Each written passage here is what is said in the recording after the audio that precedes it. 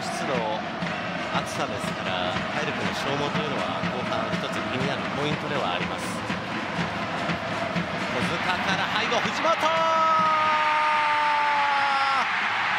見事に出し抜いた藤本。6試合ぶりのゴールです。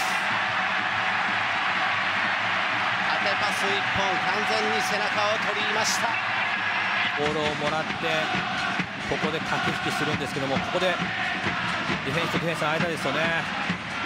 多分これコントロールじゃなくてシュートだと思うんですよね。だけど足元入りましたしやっぱここディフェンスラインとのやっぱ駆け引きっていうのが非常にうまい選手ですよね。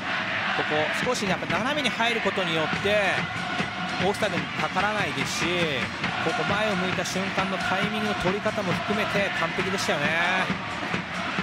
多分これアウトサイドで蹴ろうとしたところで